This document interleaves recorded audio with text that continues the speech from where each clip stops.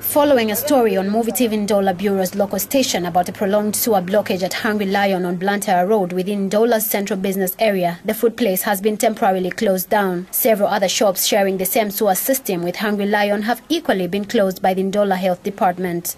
Members of the public, especially taxi drivers who operate near Hungry Lion, raised concerns over the unattended sewer effluent, which they say has not only been a disturbance but a health risk. It's disappointing that these people can continue operating this kind of condition. While like, business they are making money and it's, a, it's, a, it's only some company, South African company. The first people who are supposed to on forefront promoting hygiene. lero ngapalo ke mfulafuta ke naye efine simavifile njira futhi fyakula futhi ku storage kwakwine kumyabangira kwakwine kofia futhi again And a check by Movie TV News at Hungry Lion certainly proves that the blocked sewer manholes are closer to where food is prepared.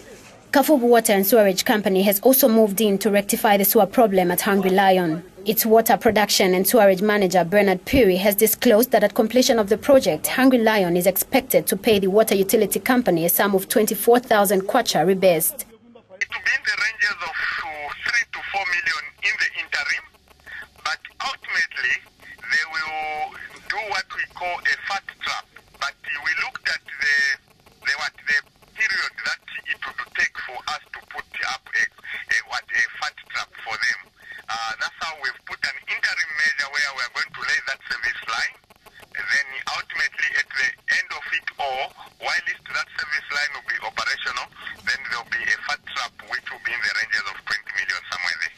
Ideally, what is causing the blockage is the fat which is being generated by Hungry Lion. Hungry Lion, Blantyre Road, and several other shops on the same building will remain closed for a few days until Kafu Water and Sewerage Company completes works on the sewer system. Mwaka Namfukwe, Muvi TV News, Ndola.